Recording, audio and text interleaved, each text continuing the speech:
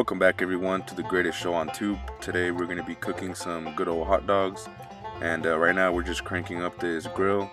So as you can see I have this uh, aluminum foil set up where the, the third burner is at here. I don't even know why I was about to turn it on there but um, yeah so anyways uh, uh, this is just to catch the bacon grease that's going to be dripping right now from the, uh, the hot dogs and of course we're going to be cooking this with uh, indirect, indirect uh, heat so um, that's why I have these uh, heat deflectors set up to the left.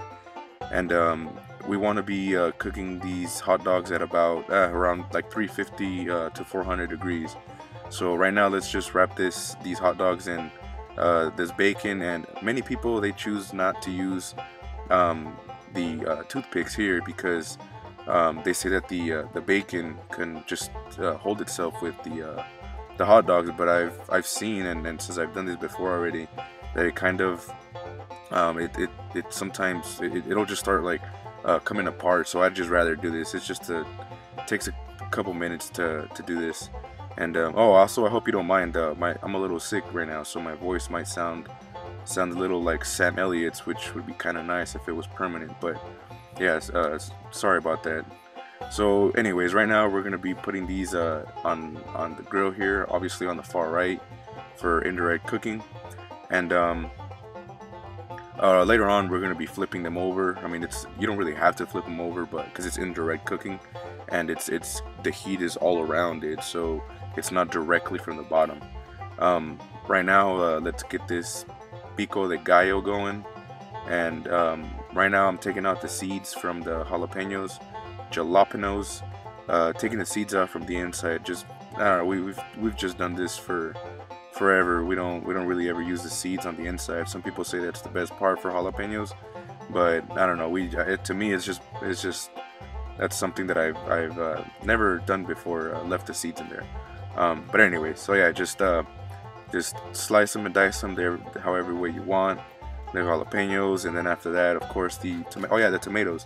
So as you can see with the tomatoes right now, uh, they have like some parts cut out because these these tomatoes, of course, they weren't in the tip tip top uh, the most perfect condition you can think of but um, either way I mean they're still good. There wasn't anything wrong with them just a couple of the sides they looked a little a little unappetizing so. Anyway so yeah so just uh, slice them and dice them once again however way you want. And uh, so yeah let's check on these on these bad boys and as you can see they are uh, they're cooking pretty well and um, so right now, if we were to take them off the grill right now, they wouldn't be to my liking because since I mean it, it is obviously indirect cooking and it's it, they look like they're pretty good. If you were to right now to unwrap the bacon, it would look a little I don't know, it would look still a little bit raw from the inside. So we're gonna get them uh, nice and crispy. Um, you'll you'll see right now in a minute.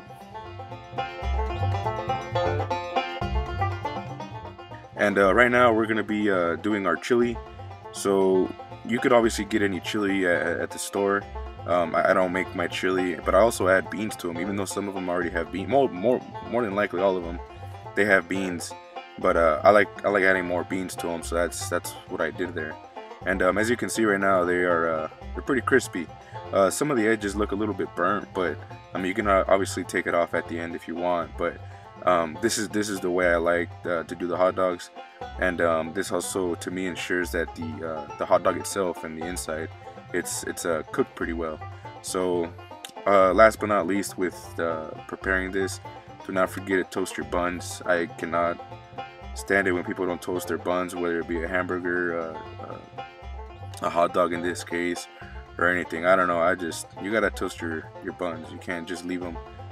Um, untoasted and then once you start eating it with all the uh, other stuff you're going to put in there they're going to start getting soggy.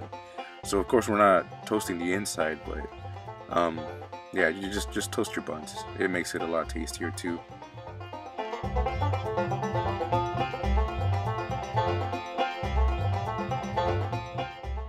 Don't forget safety first. Turn off your propane Alright, so now we're to be uh, preparing these hot dogs and uh, so of course you want to put some mayonnaise in there. Some people don't put mayonnaise. I'm not other people. I'm me. I like mayonnaise. not too much, but just a little bit of flavor in there. And uh, don't forget to take out your uh, toothpicks if you use them because let's say you're not looking or ain't paying attention, man. If you don't, if you hit it at the wrong angle, oh boy, you're gonna be in some pain. But uh, so, anyways, yeah, right now we're putting this uh, this chili on there, and of course, I was supposed to put the the hot dog first, and then put the uh, uh mustard, and then the ketchup, and then put on the chili. But I was a little excited here and just wanted to show you the chili that I did it backwards. But I mean, either way, it's all going down the stomach. It's all gonna taste the same, hopefully. And um, but yeah, so uh, once you do that, then you're gonna add the pico de gallo. Um, and I mean, this is this is basically it right here. Uh, I think I had me uh, like three of these, but uh, once again, as you guys know, I ate a lot, so that's why I was able to munch down some of these uh, with ease. But yeah, here's the finished product. Uh, thank you for watching, by the way.